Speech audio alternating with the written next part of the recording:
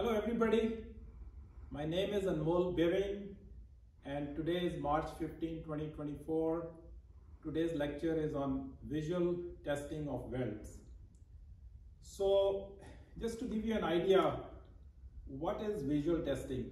Visual testing is kind of like when we go to the doctor before he actually orders the ultrasound and the CAT scan, he actually, what, what does he do first? He does a physical. He checks you and makes sure everything looks okay. So the same thing is in NDT, before we embark on RT, UT or any other techniques, we should do a visual test of the weld just to make sure that it is in good shape and you know there is no issues with it. So this kind of lecture will be a global, global overview of the visual testing approach. And here uh, I have given you the steps for the visual testing. So the steps actually are, first thing is that the person who's doing the visual testing of the welds, he should be familiar with the welding methods. So he knows how the welding is done, what kind of flaws to expect. If he's use, if they're using flux, then there's a potential of having slag. So if they're using you know gas as the shielding approach, there could be chance of porosity. So all that knowledge has to be there. Then the next step is the basically the first step for welding is joint preparation. We prepare the joint for the welding, then we do the welding, and then after the welding is done, step is to check the profile of the weld, the convexity, concavity, and then we look for the uh, defects in the weld, cracks, lack of penetration, uh, undercut, and then if we see any discontinuities, we measure the discontinuity. And the reason we measure is to apply the acceptance criteria because we don't reject every discontinuity. Some will be acceptable and some will be rejectable. Now how that is determined is by the governing code. The governing code tells us what is acceptable and what is not acceptable based on their size or identity. If it is a crack, there is no need to measure its automatic reject. But in other cases like undercut, we, we may be required to measure the undercut to see if we can accept it or not. And then all of this stuff will be on a WPS, which is called the welding specification. And you should be, you should have a copy of that uh, as a visual inspector to see what are the acceptance criteria and all the steps are there, the temperatures are there and all that stuff. So basically the five most common welding methods are gas tungsten arc welding, gas metal arc welding, shielded metal arc welding, flux core welding, and submerged arc welding. So all of these are the common methods. You should be familiar with that. And these are their slang names like TIG, MIG, and stick welding. So now, once the once we are familiar with the welding methods, so now we have to, we are, we are going to start doing the welding. So the first step is the joint preparation. In the joint preparation, the visual inspector has to check the bevel angle as per the WPS.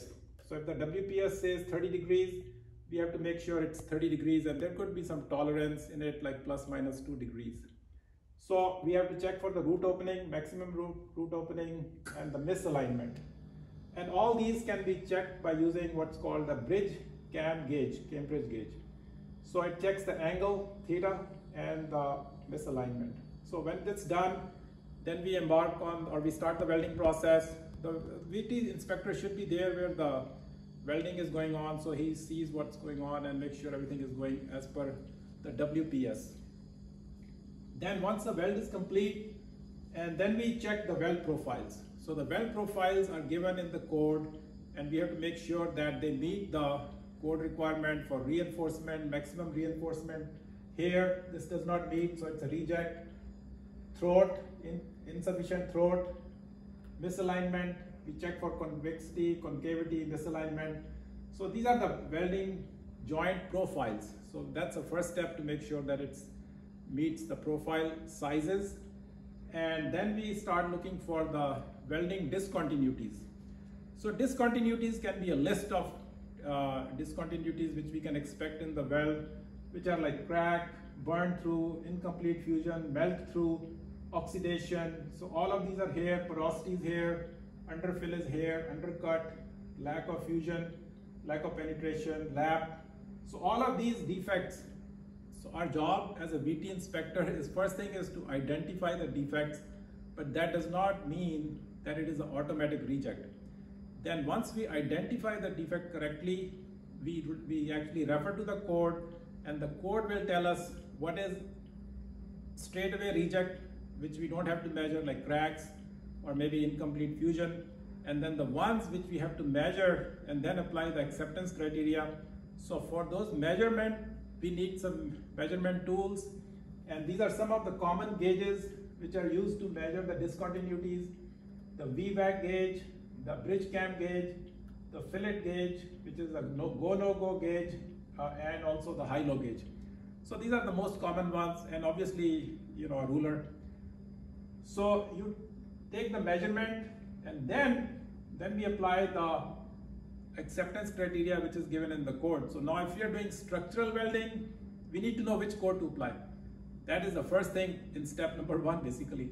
So if we are doing structural welding, it will be most likely AWS D11. If we are doing process piping, it will be ASME B313, onshore API 1104, and so on. So all of these, you don't have to remember them at all, but at least you should have a copy of the acceptance criteria which is coming straight from the code to make sure you apply it correctly. So this lecture kind of gives you an over, overview. And I believe that any NDT inspector, whether he's UT level 2 or RT level 2, they should all be familiar with visual testing because that's the first step and that's where you start the inspection process. And I believe that's about it. And thank you so much for your kind attention. Thank you.